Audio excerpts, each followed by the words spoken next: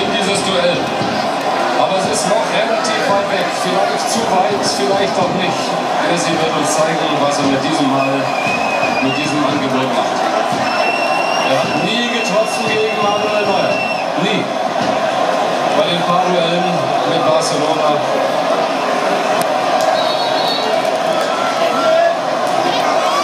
Das musste fast so kommen bei diesem Spiel. Uns wenigstens das Elfmeterschießen erspart. Vielleicht ist es schon die letzte Aktion des WM-Finales 2014. Tränen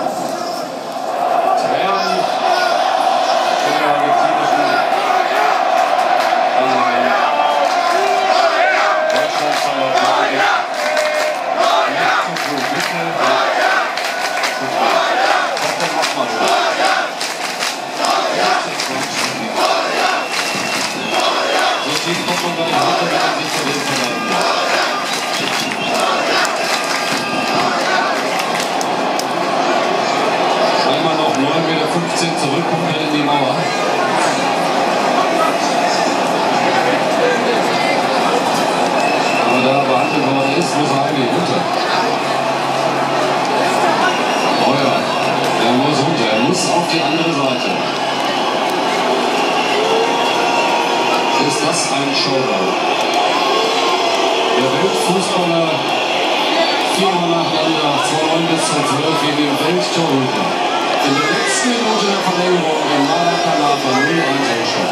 Mehr geht nicht. Messi!